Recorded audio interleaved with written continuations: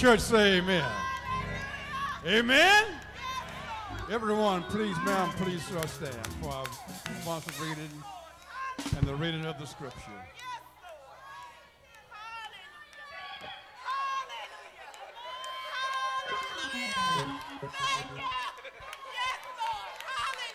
Thank you.